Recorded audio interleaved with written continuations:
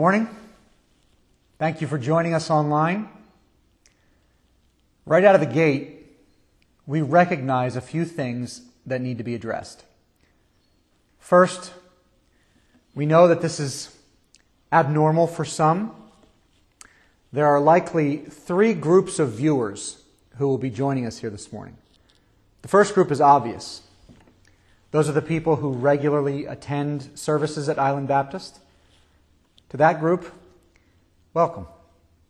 We miss you. I'm glad that you've joined us online this morning. The second group of people are likely those who've never been to a service here at Island Baptist. Welcome to you as well. We're glad that you're here. The third group of people are likely those who are joining us here online because they're frightened by the things that are happening around the world. I'd like to offer a very special welcome to that third group. And I'd like to encourage you to stay with this service all the way through to the end. I'm fairly certain that you'll be glad you did. The second thing we recognize is that for those of you who regularly attend a church somewhere, this might feel awkward to do church online like this. And I must say, it's good if you feel that way. The reason I say it's good that you might feel that this is awkward to have me talking to you through a camera is because in the Bible, the people of God are commanded not to neglect meeting with one another in person. It's very important to God that His people do life together, that we make eye contact with one another and can see one another to encourage one another because life is hard. And we were not designed to do it isolated. And so, while this may be a little awkward and abnormal for you, I want to thank God that we have tools like technology, where even though this is not ideal, it can still allow us to function together and to meet together until things return to some semblance of normalcy. With that in mind, I want to encourage you with a few more things. Number one, some questions have come up regarding giving financially to the church. We hope that you will continue to give to the Lord as He has prospered you. So if you're out of work right now, we understand that. We understand that this is a unique time. If you are able to continue giving, we still have work to do. The gospel still needs to be preached to the ends of the earth, and we're relying on you to continue giving as God enables you to do so. You can do that via our website. You can give online. You can set it up by visiting www.hopeoflbi.com and you can click on the link there that says giving. Or you can send in a check to our physical address here at 215 3rd Street in Beach Haven. The last thing I'd like to address to you is simply this, and I really hope you'll hear me. I think it could be very easy to look at a worship service like this and think of yourself as a watcher rather than a participant. So, my strong encouragement to you is that you set this time aside as sacred time, just as you do on a Sunday morning. I suggest that you remove distractions from your living room or from your bedroom or your kitchen or your, wherever it is that you're watching this, your den, your office. Set aside as many distractions as you possibly can so that this will be a time of worship. This is really no different than a Sunday morning. Here's what I hope I hope that as you worship here with us, and Dave comes to play songs, You'll worship in your living room. That it won't be you watching on a screen, but that you'll actually sing and worship the Lord just as you would if we were all together. And if that happens, then all of our voices will come together and they will come up to the Lord as a fragrant offering to Him, as one unified people of God, worshiping in our separate households, just as we would as if we were here. I'm confident that you'll take this exhortation seriously and you'll set aside this time, Sunday mornings, as long as this continues this way, as sacred time. Would you join me now as we pray, not only for our nation, but for our church and our communities? Let's bow together, right where you are in your living room or your house. Father, I come to you in the name of Jesus with a heart full of trust and adoration for God Almighty, the only one who can do anything about our situation, the only one who can save us. I come to you on behalf of your people, asking that you would cure our nation, not of the pestilence that's making its way through not only the U.S., but the world, but that you would cure us of the deadly soul disease of sin that has been killing mankind since the fall. I pray that you would use this current situation in our world to bring people to Jesus Christ, the great physician and Savior of our souls. And I pray, dear God, now for our president and our leaders, that you would give them wisdom that comes from your very mind so that they would know not only how to lead our people back to a place of health, but also how to lead our people back to God. I pray that we would become a praying people, a people who return to church, a people who takes God and the Bible seriously. Lord, let this be done not only for your glory, but for our joy. In the name of Jesus, the name which is above every other name, I pray. Amen.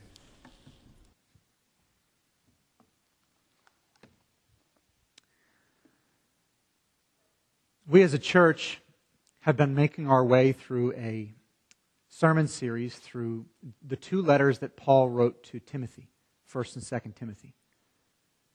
But we've decided to take a hiatus from that sermon series in order to address the growing angst that's been spreading not only throughout our country and our world, but in large part through the church.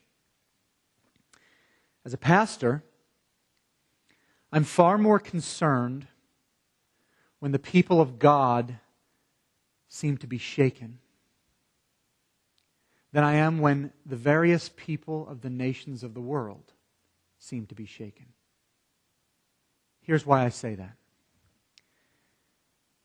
The early church, the apostles and those that followed them, they suffered and were persecuted and had far more reason to fear than any other time in the church's history. And yet, here's what the apostles wrote to those people who were likely full of fear. Listen to what they wrote. Therefore, since we are receiving an unshakable kingdom, let us be filled with gratitude and so worship God acceptably with reverence and awe. So when the people of the kingdom of God suddenly start to lose their footing because a tremor has hit the earth. Yes, it concerns me. And it concerns other pastors. We, people, feel shaken whenever it is that the thing that has captivated us becomes shaken. Do you follow? Whatever it is that captivates a person will offer that person some semblance of security. So when that thing, whatever it is, gets shaken, the person who's put their hope in that thing will also be shaken. So let this be a time of self diagnosis for the people of God. If you're shaken, ask why. Do some soul searching. Again in Hebrews 12, look at the verse just prior to the one I read you, the 27th verse. Take a look. All of creation will be shaken and removed so that only unshakable things will remain. For the next few weeks, as we take a hiatus from our series through 1st and 2nd Timothy, my hope is to reposition the people of God, not just Island Baptist Church, but whoever would feel led to tune in on a weekly basis. My hope is to reposition all of us people under the shelter of the shadow of the Almighty. My hope is that when we do that for a couple of weeks, we will begin as a people to shift our focus off of shakable things and on to the promises and person of God. I want to show the world, as I hope you do too, what it looks like when a people hide themselves in Him. Before we do any of that, I'd like to ask you to pray with me right now, wherever you are. Would you bow your heads? Father, I come to you in the name of Jesus, asking on behalf of your people that you would fill our minds with your word. Help it not only to come in now as I deliver this message, but help it to come back to your people all throughout the week, and then maybe into the weeks that follow, and for however long this crisis might continue in our world. What we need now more than anything, Father, is your word. To do combat with the lies that continue to come in at us from so many resources, it's, it's really uncountable. Father, we need you. So I pray that you would open the hearts and minds of your people to receive your word here this morning, wherever they may be. In Jesus' name I pray. Amen. Let's read our passage for, for this morning together. It's going to be found in Psalm 91. If you have a Bible, and I hope you do, you can turn there with me now. Psalm 91. It'll be displayed on your screen if you'd prefer to read it there. Here's what it says He who dwells in the shelter of the Most High will abide in the shadow of the Almighty. I will say to the Lord, my refuge and my fortress, my God in whom I trust. For he will deliver you from the snare of the fowler and from the deadly pestilence. He will cover you with his pinions, and under his wings you will find refuge. His faithfulness is a shield and buckler. You will not fear the terror of the night, nor the arrow that flies by day, nor the pestilence that stalks in darkness, nor the destruction that wastes at noonday. A thousand may fall at your side, ten thousand at your right hand, but it will not come near you. You will only look with your eyes and see the recompense of the wicked. Because you have made the Lord your dwelling place, the Most High, who is my refuge, no evil shall be allowed to befall you, no plague come near your tent. For he will command his angels concerning you to guard you in all your ways. On their hands they will bear you up, lest you strike your foot against a stone. You will tread on the lion and the adder, the young lion and the serpent you will trample underfoot. Because he holds fast to me in love, I will deliver him. I will protect him because he knows my name. When he calls to me, I will answer him. I will be with him in trouble. I will rescue him and honor him. With long life I will satisfy him and show him my salvation. Now, we don't know exactly who it was that wrote this psalm. Some say it was Moses, because Moses wrote the psalm prior. Others give the praise of this psalm to David. Whoever it was, this psalm is ours. This psalm is to be understood and accepted and lived out by all of the redeemed people of God until he is finished with his work here on the earth and gathers the very last one unto himself. This psalm is yours and it's mine. However, the main point of the psalm comes leaping off the page in the first verse. I hope you caught it. Take a look at it before I show you something very critical to whoever would claim these promises as their own. Take a look at that first verse. He who dwells in the shelter of the Most High will abide in the shadow of the Almighty. Now, here's what I want you to do, if you can, from home. Try to capture that phrase, the Almighty, in your mind. Hold on to it and think about it for a moment. I've circled it for you there on the screen. What you can't see there in that English translation, the Almighty, is the power of the Hebrew word that it comes from. If we were to replace the English translation, the Almighty, with the Hebrew, here's how it would read He who dwells in the shelter of the Most High will abide in the shadow of Shaddai. The name given to the one true and almighty God who controls not only the whole universe, but controls your life and part in that universe. The name given to him in this passage and many others is Shaddai. Now, that phrase appears 48 times in the Bible as simply Shaddai, and only seven times as the more commonly known El Shaddai. Seven times as El Shaddai, 48 times simply as Shaddai. Which is why I've entitled this special message, In the Shadow of Shaddai.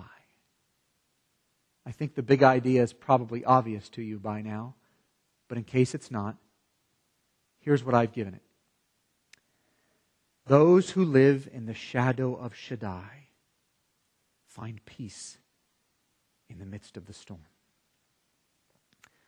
There are several promises here in this psalm that I'd like to point your attention to. But before I do, there's something really critical that you need to know. Not all promises are alike in the Bible. Some promises are conditional and others are unconditional.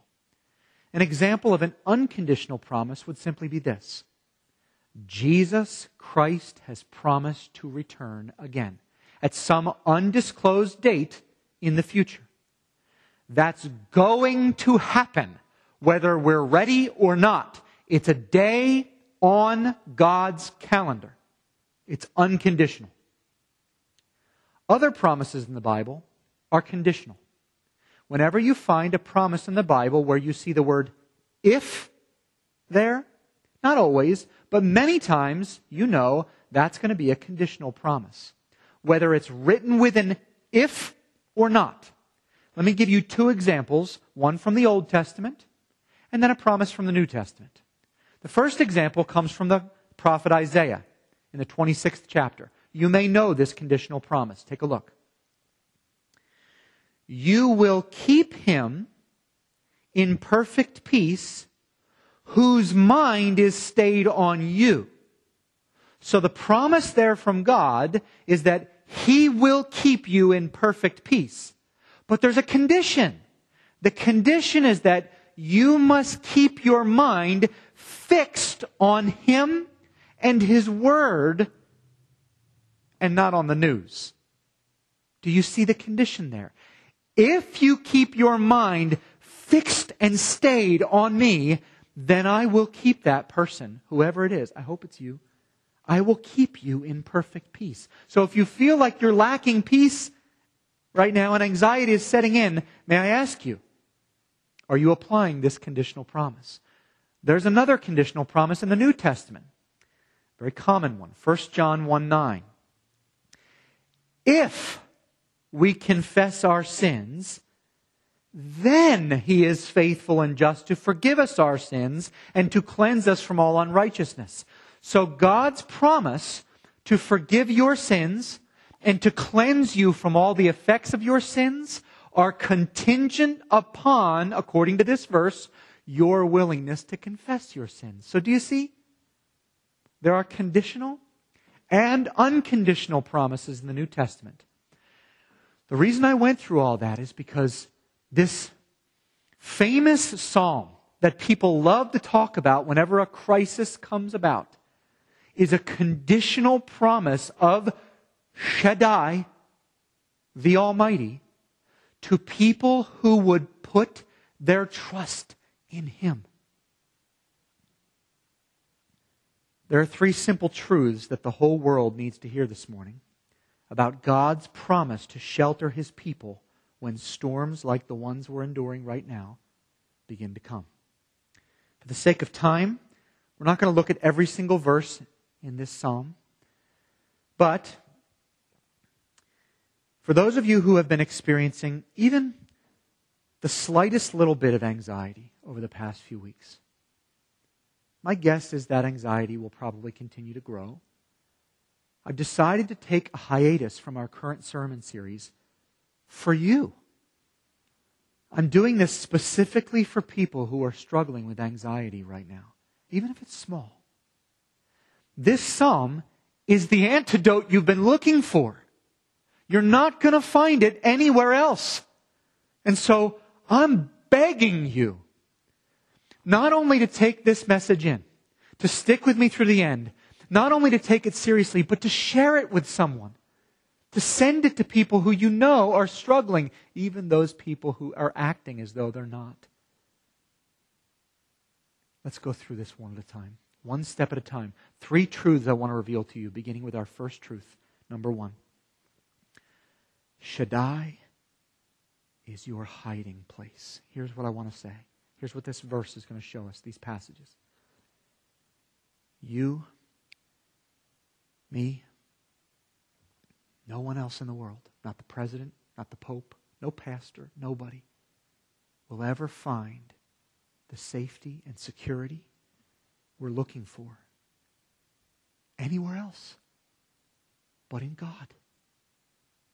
Look back at verses 1 through 4. I want to show you this. Verse 1 says, He who dwells. Can you stop right there?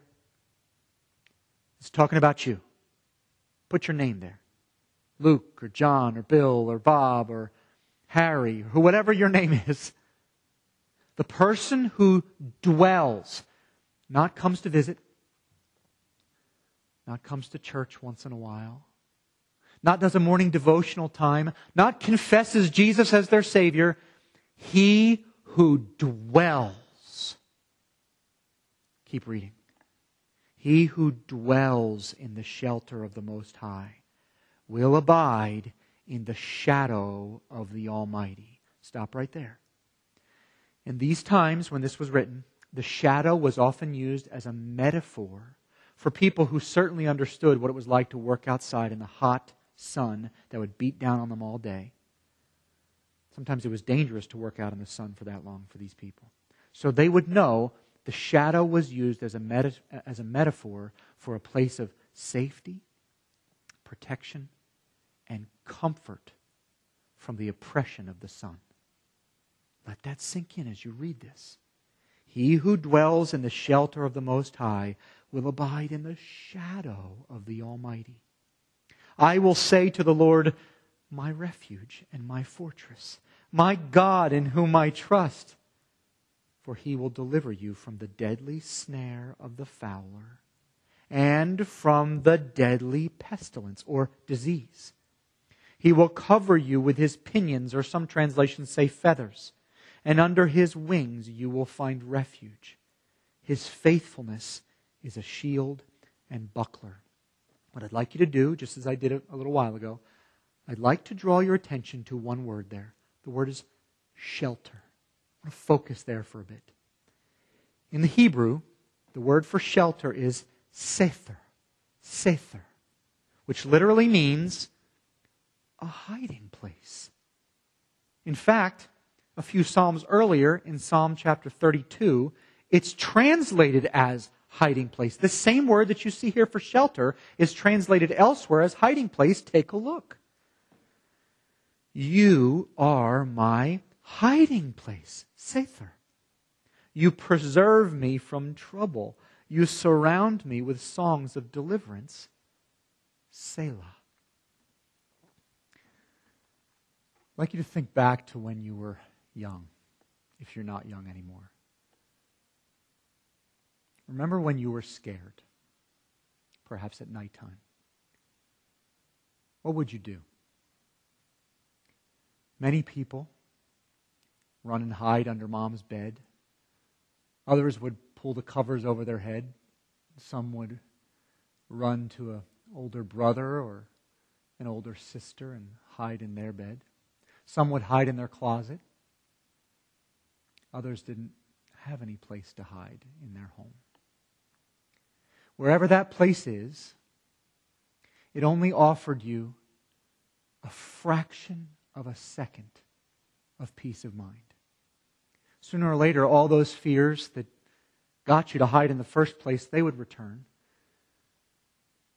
Where are the majority of people hiding today? Where are the majority of people that you know seeking to hide from the storm that's come upon us? Where might you be trying to hide? Wherever it is, I can assure you of one thing it isn't going to offer you the peace that you're really after.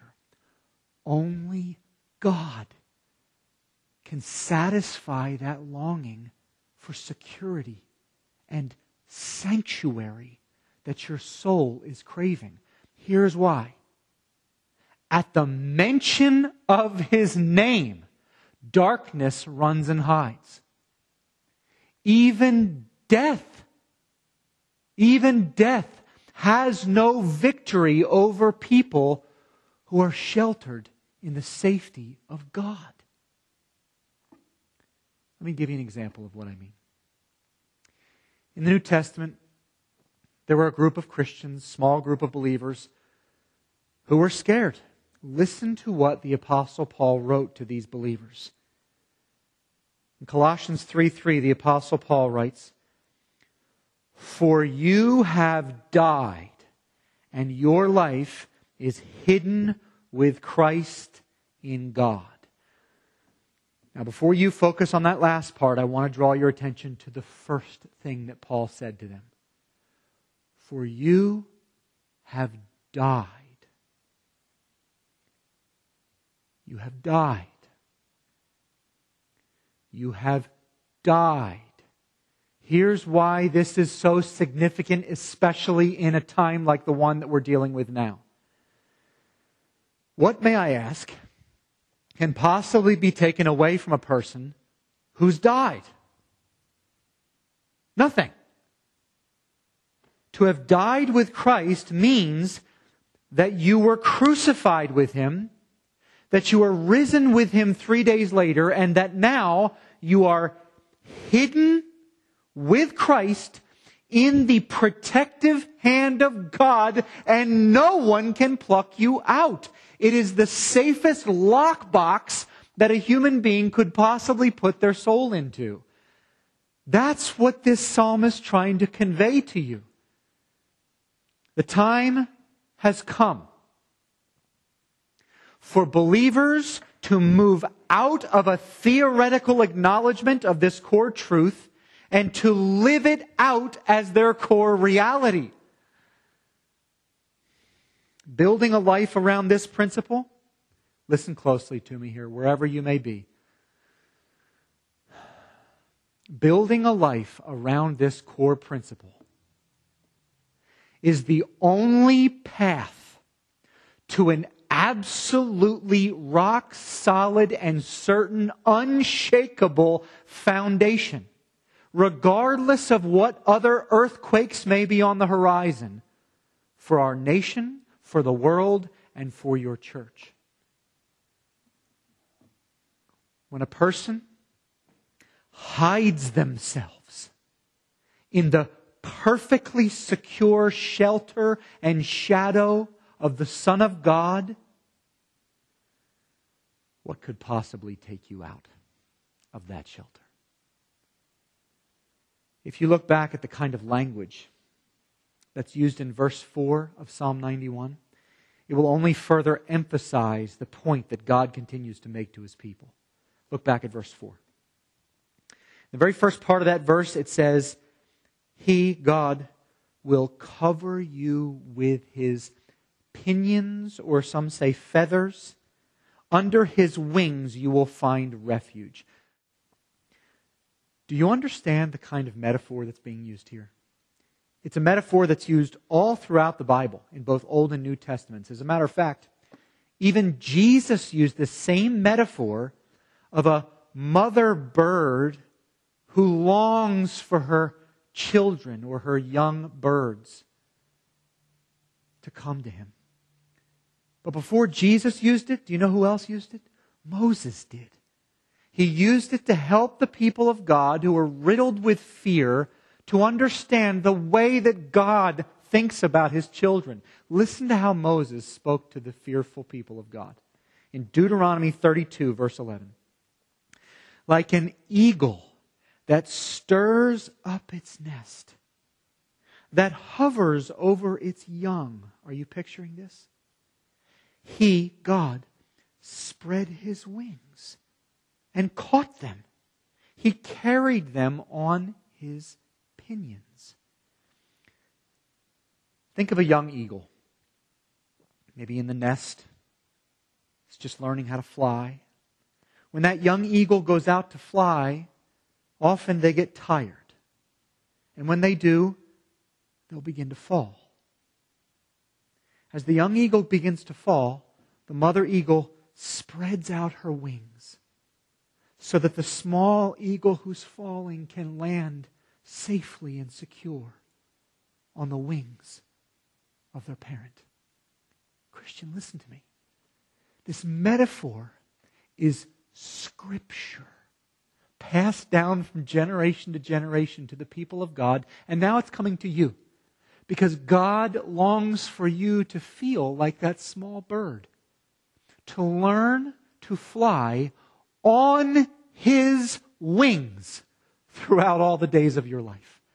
That's why this is in your Bible. That's why Moses gave it to his people. That's why David or whoever wrote this psalm, maybe it was Moses, is giving it to you now. That's why Jesus gave it to the people of Jerusalem. Shaddai carries his children and will not let them fall to destruction. He trains his people to learn to ride out the days of their life on his wings. What a beautiful picture of God's care for his children. Wouldn't you agree? The threats that are facing the United States and the people of the world are real. And they're to be taken as real and serious. They're as real as any of the other threats that the people of God have faced in times gone by. But here's what you need to know the people of the world, in times like these, they hide themselves in all kinds of things that can't save them. As a matter of fact, the last book of the Bible, Revelation, in the sixth chapter, tells of what will happen at the very end. It says that the leaders of the world, kings and all the rulers of the world, along with rich people and poor people and everyone in between, will seek to hide themselves from the fearful things that are coming upon the world in caves. That's what it says. You can look it up for yourself. Revelation chapter 6. All the people of the world will hide themselves in caves from fear of Shaddai, the Almighty. The same thing is happening on a much smaller scale right now.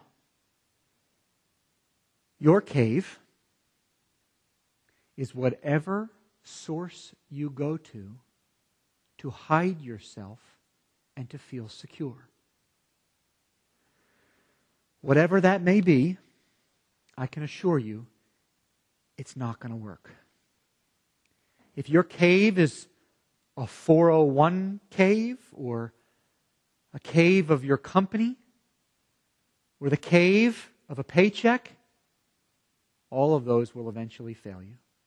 Even if your cave is the safety and security and the hiding place of your family, that too will eventually fail you.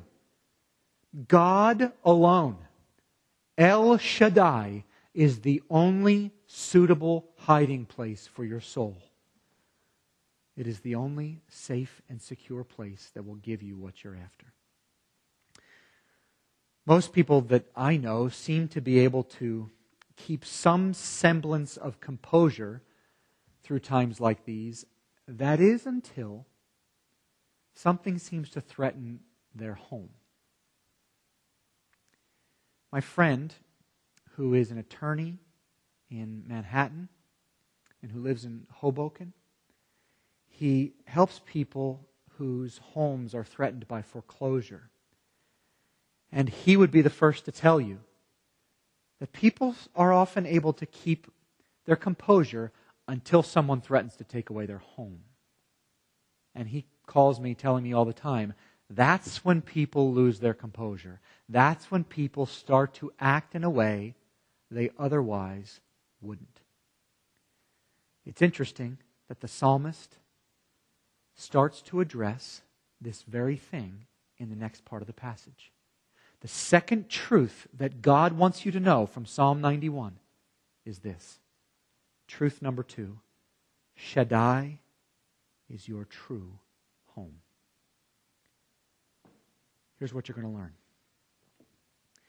you cannot find the genuine sanctuary. Think about that word.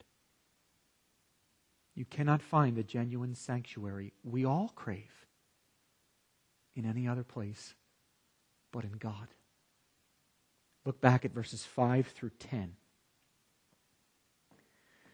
You will not fear the terror of the night, nor the arrow that flies by day, nor the pestilence that stalks in the darkness, nor the destruction that wastes at noonday.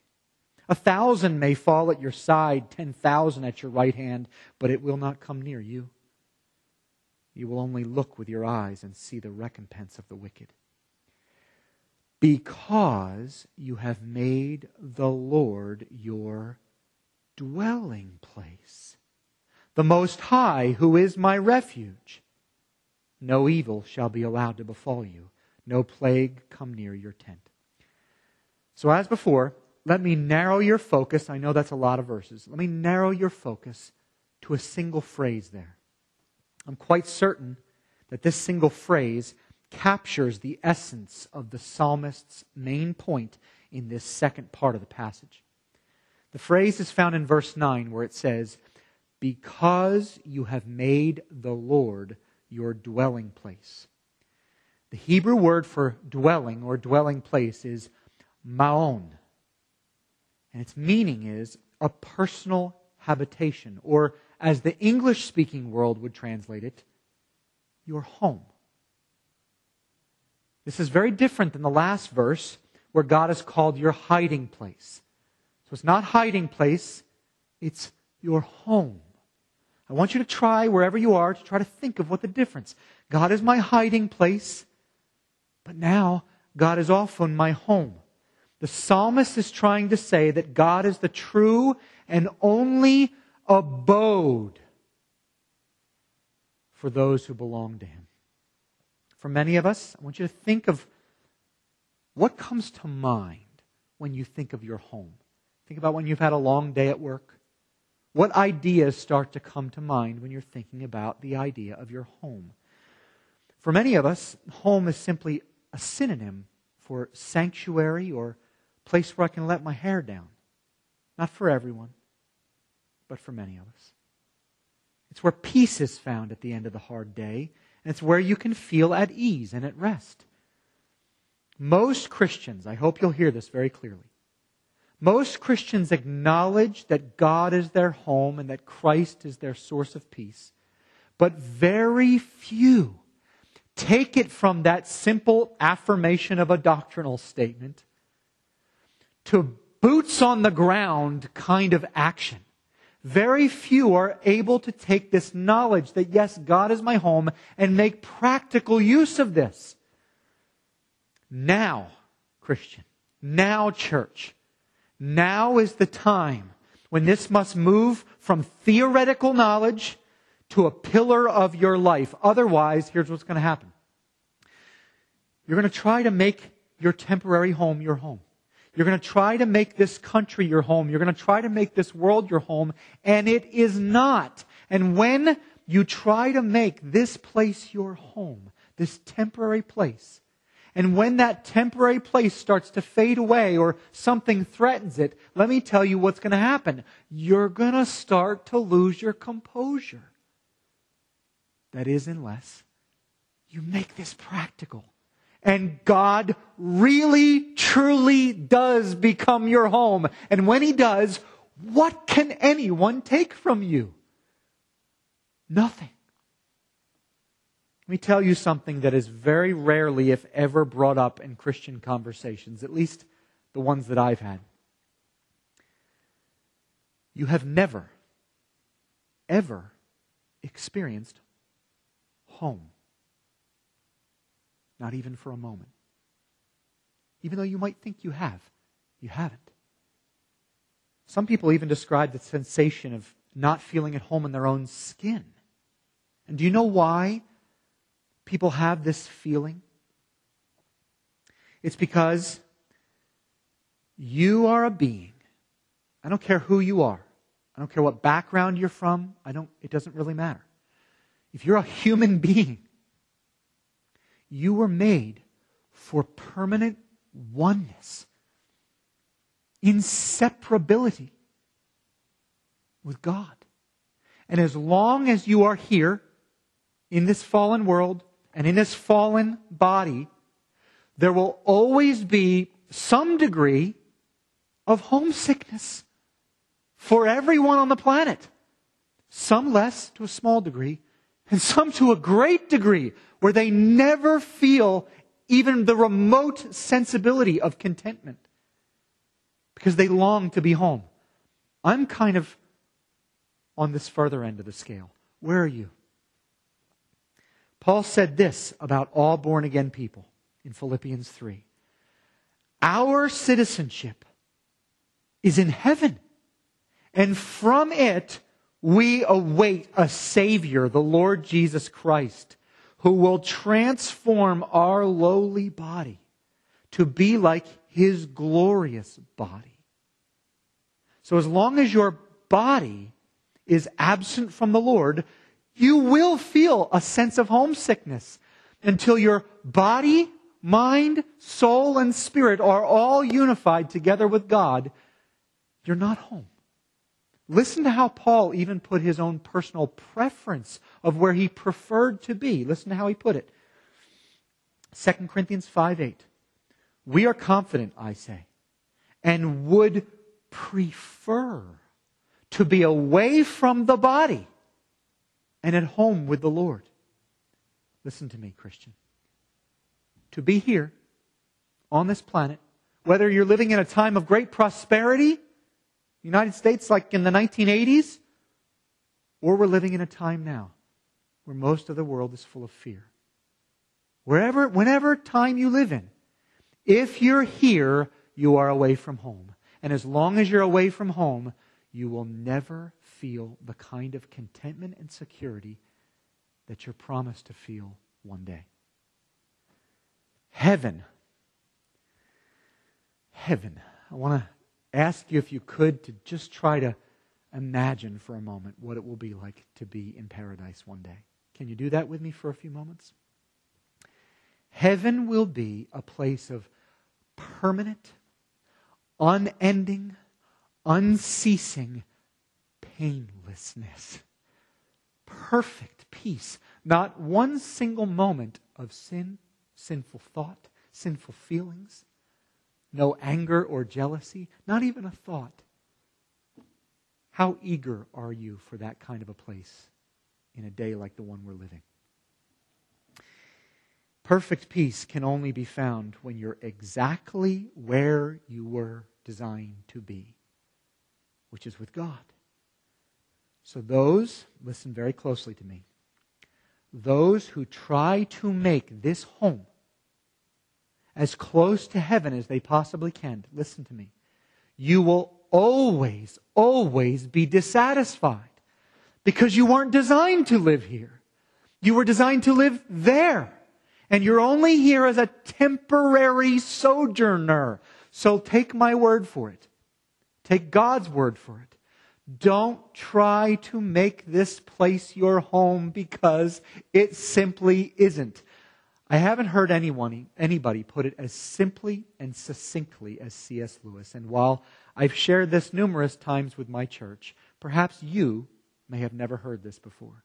C.S. Lewis put it like this if we find ourselves with a desire that nothing in this world can satisfy, the most probable explanation is that we were made for another world. Isn't that simple?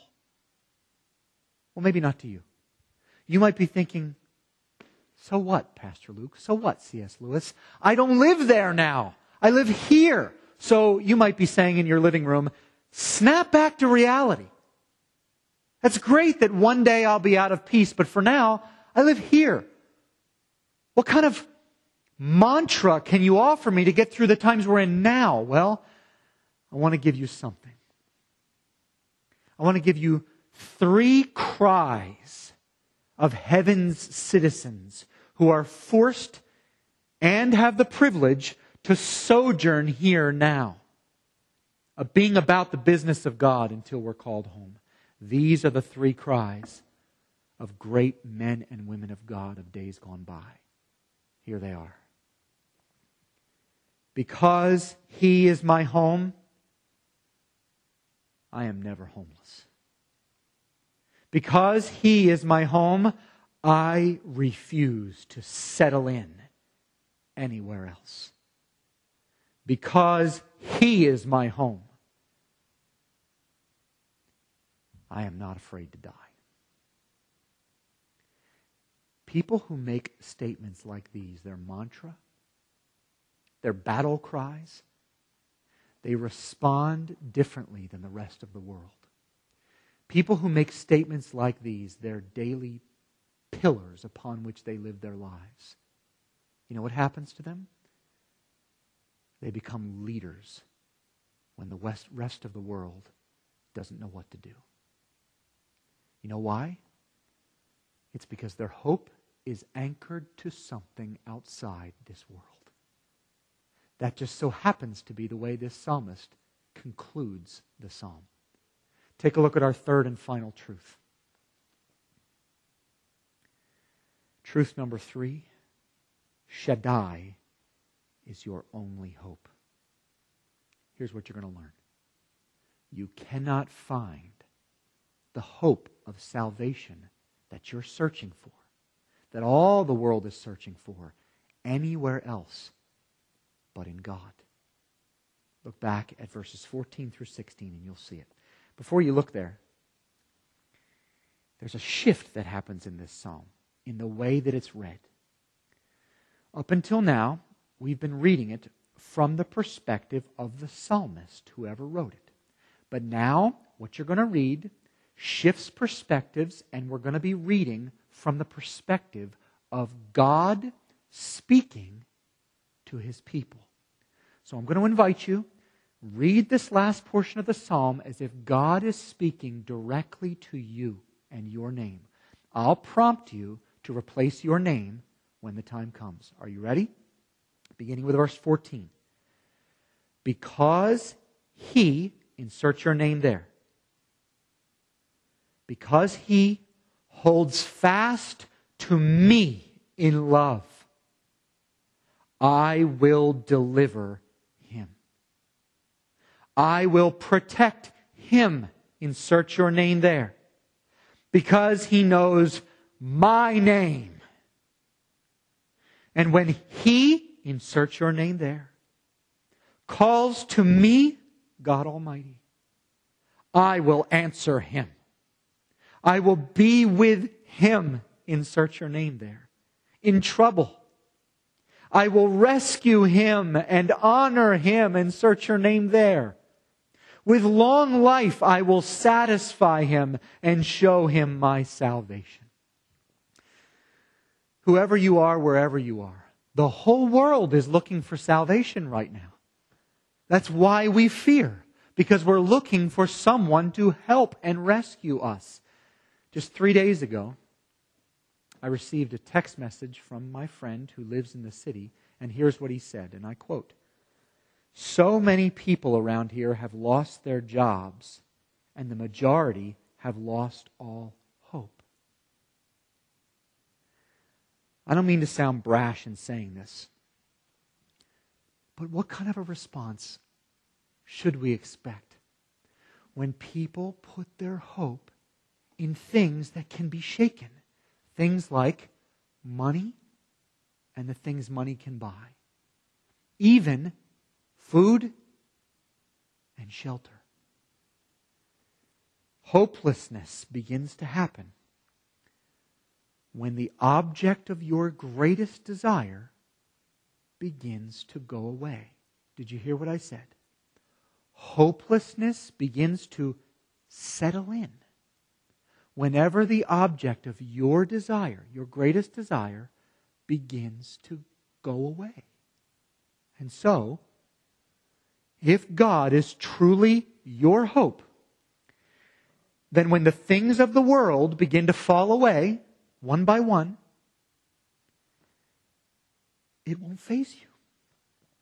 At least as much as the rest of the world. In his closing remarks, the author of Hebrews reminds believers not to fall in love with money or the things that money can buy, even the essential things that money can buy. The author of Hebrews is warning people don't put your trust in or fall in love with the things that money can offer you. The reason that people fall in love with money is because they think it will buy them the power to stay safe should a catastrophe strike. And let me tell you, as we're all learning, it simply doesn't work. So, to help them feel safe, the writer of Hebrews offers them this final promise from God Keep your lives free from the love of money and be content with what you have. Here's why because God has said, Never will I leave you. Never will I forsake you. Notice what he did there. God points them back to himself as the source of hope. Why? Because money and the hope it offers will always, always, always be shaky and flimsy. Do you see that there? If the love of this world that may even be a fine job, a good lifestyle. It may even be the love and desire for a healthy life. If that has overtaken you, then when those things start to be taken away from you, so too will the foundation of your hope. Do you see? But if your hope is in God, if your hope is truly in God, then you will never be like one of the people whom my friend is texting me, telling me is happening all over the city. You'll never be a person who says, I'm losing hope. Look again at the very last phrase of this psalm in verse 16. It says, I will satisfy him, insert your name there, and show him my salvation. Whenever a person has come to be satisfied in Him and His promise of eternal life, it frees that person to let go of this life. The Apostle John put it like this 1 John 2 25. And this is the promise that he made to us eternal life. So many people believe that Jesus died for them and that heaven is their home. But so many of those same people live out their lives with perpetual doubt that heaven really is a superior pleasure to the pleasures to be had in this life. And so they live out their days with perpetual doubt, clinging instead to the insubordinate pleasures and comforts of this world. It was John Piper who said this I don't so much pray that my death will be without pain, but that it will be without doubt. This psalm, Psalm 91, is here to equip God's redeemed people to wage war against doubt as it begins to creep up in your soul. This psalm is here to remind you of these three truths that we've been focusing on. Here they are again. Shaddai is our secret hiding place. Shaddai is our true home. Shaddai is most certainly our only hope of salvation. More than anything else, in these times of uncertainty, what I'm convinced that the people of God need is childlike faith. And so, to help us to really grip on to childlike faith, those of us who may have lost it, I've invited a very special guest to close our service. It's my daughter, Peyton. And she's going to play a song for you that's one of her favorite songs. That song is going to help you to really lay hold of that simple truth that He will hold you fast. Let me pray for you before she comes. Father, I pray for everybody who may be watching this that you would help them not, to, not, not just to believe these truths, but to cling to them for their very hope. That these truths would sink in and that they would be able to not only use them in a time of desperation, but pass them on to the world, to their next door neighbor who may be riddled with fear. God, I thank you for this psalm. I thank you for your word. And I pray that you would be that help for us that we so desperately need in a time of trouble. In Jesus' name I pray. Amen.